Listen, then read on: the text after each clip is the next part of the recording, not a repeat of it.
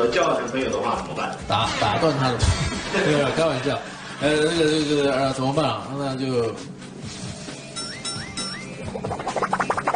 我刚刚那个回答好像蛮不错的。为什么到二零二二年了，周杰伦还能上热搜？近日，周杰伦再次登上各大平台的热搜榜，引发网友热议。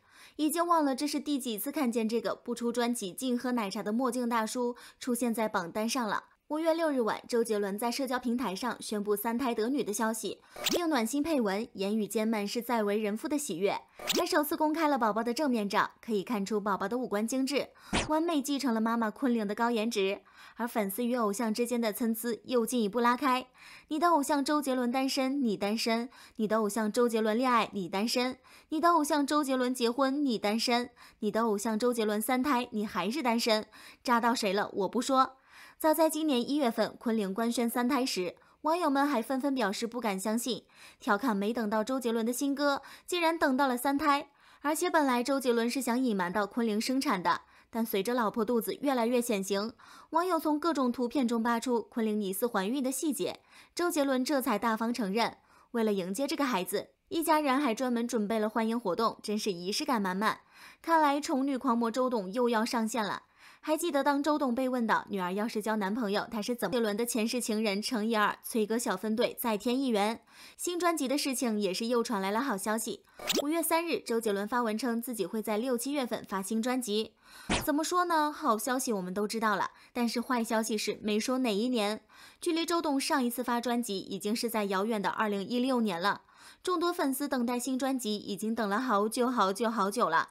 可是，对于这次的消息，不少网友都表示，已婚男人的承诺不可信。毕竟，从二零一七年开始，周董每年都会说一次自己要发新专辑，间歇性的想起自己还是一个歌手。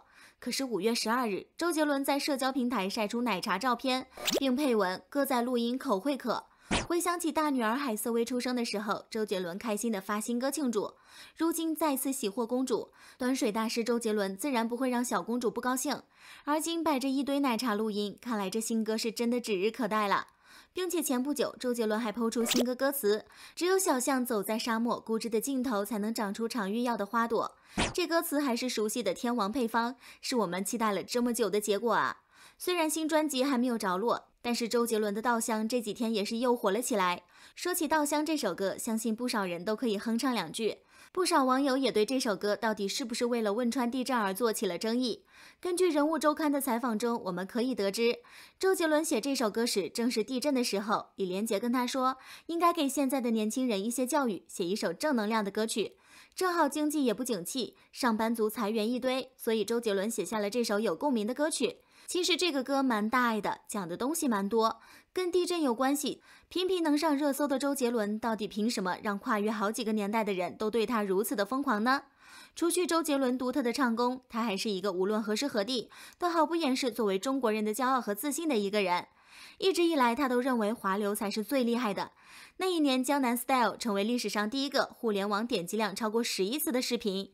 Tara 的《Day by Day》席卷各大榜单。当时华流基本就是在被按在地上摩擦，周杰伦则用实际行动给予了有力的回击。《本草纲目》《青花瓷》《霍元甲》，一个个高质量作品接连出世。一个人就是千军万马。作为明星，他懂得爱自己的国家。对他来说，爱国不是跟风，而是一种日常。还记得一位零零后女生之前在网上发了个帖子，询问周杰伦的唱话数据那么差，为什么演唱会门票还那么难买？此话一出，便引发热议。你可以说周杰伦胖，也可以说他更新慢，但绝不能说他没有粉丝。还记得那时候，仅用了四天的时间，周杰伦的排名便从百名开外一下跃居榜首，甚至创下第一个超话热度破亿的记录，由此还引来了人民日报的关注。果然，好的偶像会发光。